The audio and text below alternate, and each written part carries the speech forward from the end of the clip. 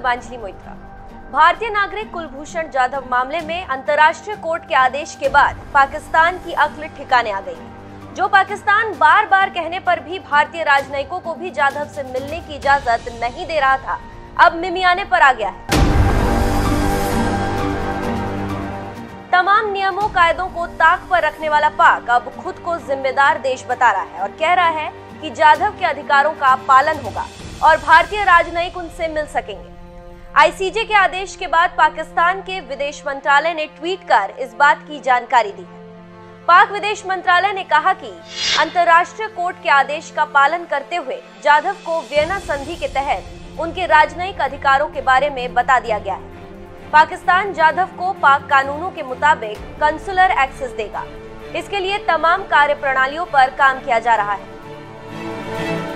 इस ट्वीट के ज़रिए पाकिस्तान भले ही जिम्मेदार देश होने का नाटक कर रहा हो, लेकिन उसकी हकीकत तो सभी को पता है।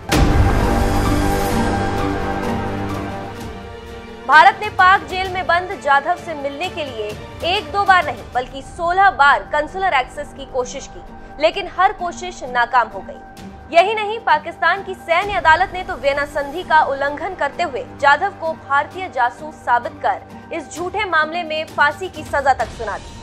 जिसके बाद भारत को अंतर्राष्ट्रीय कोर्ट जाना पड़ा, जहाँ पूरी दुनिया के सामने उसके झूठ का पर्दाफाश हो गया। आईसीजे ने जो फैसला सुनाया, वो साफ़ तौर पर भारत की जीत है। कोर्ट ने न सिर्फ़ कुलभूषण जाधव की फांसी की सजा पर रोक लगाई, बल्कि भारत को कंसुलर एक्सेस देने का भी आदेश दिया। अंतर्राष्ट्रीय कोर्ट में 16 जजों के पैनल में 15 जजों ने भारत के पक्ष में अपना फैसला दिया।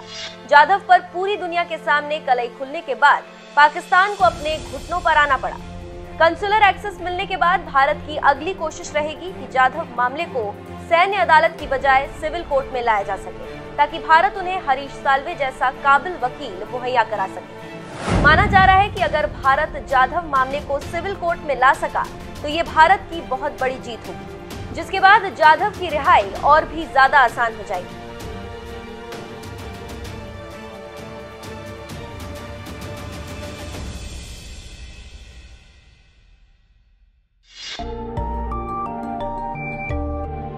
Pakistan all along sought to use the proceedings to make allegations against India of state sponsored terrorism.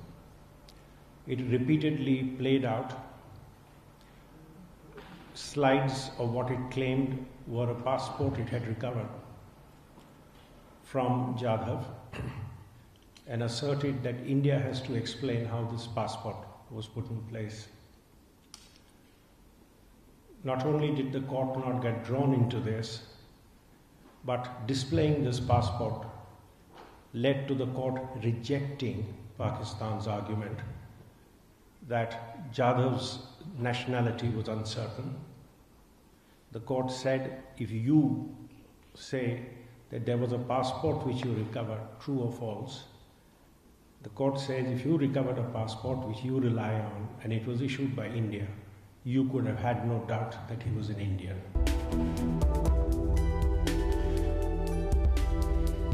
I have a degree of personal satisfaction that a lot of adjectives were used by Pakistan in its submissions. Even in replying at, in the court, I characterized them as unfortunate, and I said it is my upbringing and India's tradition which stood in my way of replying to them in that language. Pakistan had based allegations of what we as lawyers call abuse of process and said that was another ground why India should not be allowed the relief it seeks. That has been rejected. The court has held that Pakistan is guilty of what it, and this is what I have written down when I was hearing the judgment. The court has held that Pakistan is guilty of internationally wrongful acts of a continuing character, and it must cease those acts. Sri S. Jaishankar, Chairman, sir, with your kind permission, I rise to apprise the House of certain important developments that have taken place pertaining to Sri Kulbhushan Jadhav, an Indian citizen held in the illegal custody of Pakistan. The House will recall Please, Kulbhushan Jadhav was awarded a death sentence by a Pakistani military court on fabricated charges. This was done without providing Indian representatives consular access to him as envisaged by international law and diplomatic practice. We made it clear even at that time that India would view very seriously the possibility that an innocent Indian citizen could face death sentence in Pakistan without due process and in violation of basic norms of law and justice. To ensure Shri Jadhav's well-being and safety and to secure his release, the House is aware that we approached the International Court of Justice to seek appropriate relief. That body stayed the execution of the death sentence as a provisional measure.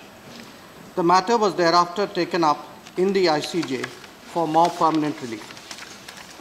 Sir, the International Court of Justice delivered its judgment on the Jadhav case yesterday, 17 July 2019. Significantly, the court unanimously found that it had jurisdiction on the matter and by a vote of 15 to 1 pronounced on other key aspects of the case.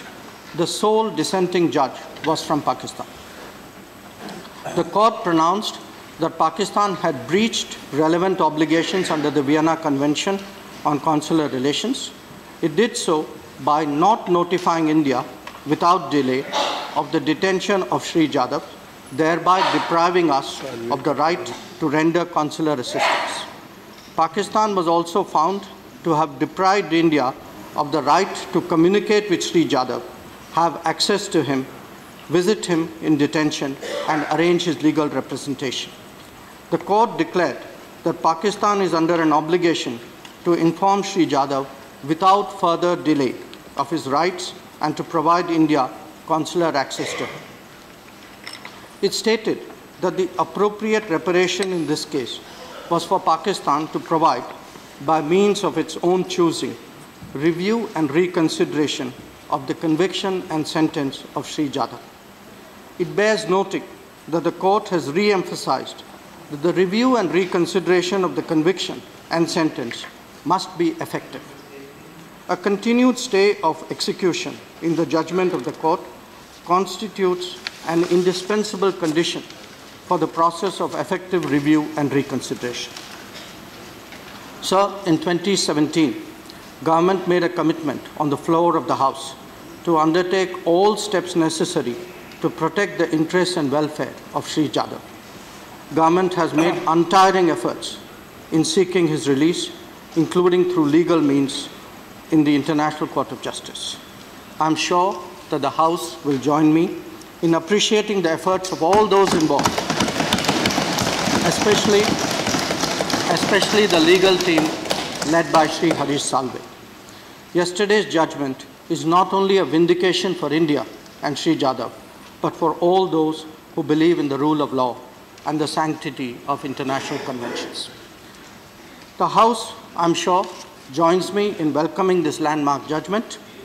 The sentiments I express on this matter are those of the entire House, indeed, of the entire nation. Sir, Sri Kulbhushan Jadhav is innocent of the charges leveled against him. No forced confession, that too without legal representation and due process, will change this fact. We once again call upon Pakistan to release and repatriate him forthwith. I am confident that the House will join me in expressing its strongest solidarity with Sri Jadhav's family. They have shown exemplary courage in difficult circumstances.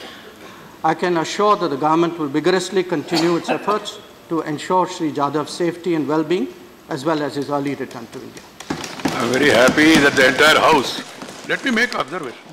I'm very happy that the entire House have joined together in welcoming the judgment of the International Court of Justice. And uh, people are all concerned. They have been really complimented. And uh, I'm happy that the ministers particularly mentioned about uh, the services rendered by Sri Harish Salve, the two without uh, any charge, just appearing on a nominal this thing to serve the cause of the countrymen. We are all very happy, about it and I hope we will pursue till Sri Kulbhushan is uh, totally discharged and released. Okay. Uh,